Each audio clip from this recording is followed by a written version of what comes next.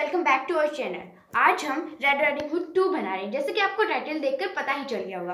बचपन में आपने काफ़ी बार story little red riding hood तो सुनी ही होगी, पर क्या आपने कभी आपने ये सोचा है कि जब रेड राइडिंग हुड इतनी बड़ी मुसीबत में फंस गई तो उसके बाद उसकी मम्मा उसे दोबारा कहीं बेचते हुए उनके क्या रिएक्शंस होंगे? मतलब वो उसे क्या इंस्ट्रक्शंस देंगी? और फिर वो क्या करेगी? चलिए आज हम आपको यही सब बताएँगे कि जब रेड राइडिंग हुड दोबारा कहीं गई, उसे किसी ज़िम्मेदारी मिली तो उसने क्या किया और उसके साथ क्या हुआ? तो चलिए देखते हैं।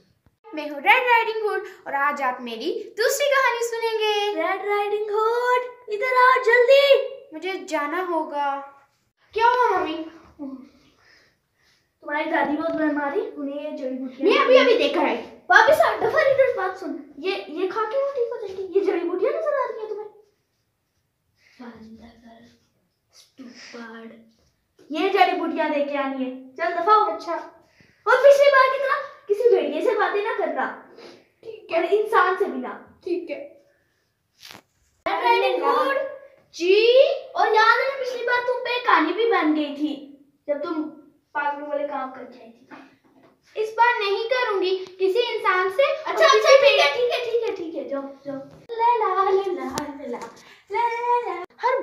ही मुझे इनके लिए जड़ी बूटियाँ लेकर जाना पड़ता है और हर बार मैं किसी मुसीबत में पड़ जाती हूँ।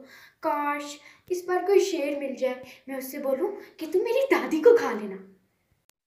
कौन कहता है कि शेर जंगल का राजा होता है? मैं यहाँ भूखा मर रहा हूँ। उफ मैं शेर? नहीं एक शेर। ये तो अच्छी बात है ना। ये मेरी दादी को खा लेगा फिर मैं रोज रोज ये जड़ी बूटियाँ नहीं लेकर जाऊँगी। एक लड़की? ओ लड़की कहाँ जा रही हो? शेर मैं तुम्हें सब कुछ बताऊँगी मैं कहाँ जा रही हूँ। और बदले में तुम मुझे नहीं खाओगे ना? तो बदले में मैं तुम्हें एक औरत का बताऊँगी जो बहुत मोटी ताज़ी है। वो मेरी दादी अम्मा है तुम उन्हें खा सकते हो। और हाँ वो बहुत बड़ी भी हैं उनके ज़िंदा रहने का भी कोई मकसद नहीं बचा ना इसलिए तुम उन्हें खा लेना और मुझे छोड़ देना। हा हा हा शेर खुश हुआ। मुझे अपने साथ ले जाओ। चलो मेरे साथ मेरे पीछे पीछे चलो। साथ साथ चलो। ये है मेरी दादी का घर। आओ आओ शेर आओ। ये है हमारी दादी मुझे बताओ। दादी? मेरा बच्चा आ गया। दादी इतना आहिस्ता आहिस्ता चलेंगे तो तीन साल लगेंगे। मैं आपके लिए गिफ्ट लाई हूँ। गिफ्ट? गिफ्ट? गिफ्ट? दो दो जल्दी दो। अभी दिखाती हूँ। शेर आ जाओ अपना ही घर समझो। उम्मीद है आपको ये वीडियो अच्छी लगी होगी। और अगर आपको ये वीडियो अच्छी लगी तो please like share and subscribe और कमेंट करना मत भूलिएगा। हम आपको नेक्स्ट वीडियो में मिलते हैं।